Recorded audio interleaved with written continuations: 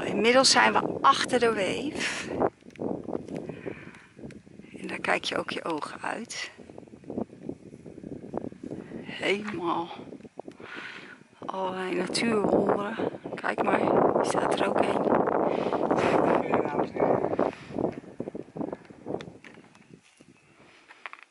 Zo, we zijn nu op weg naar de second wave.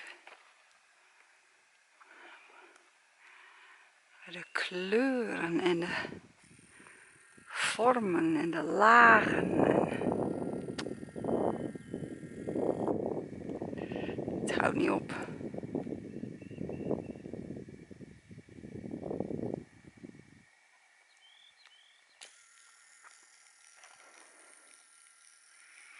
Prachtig.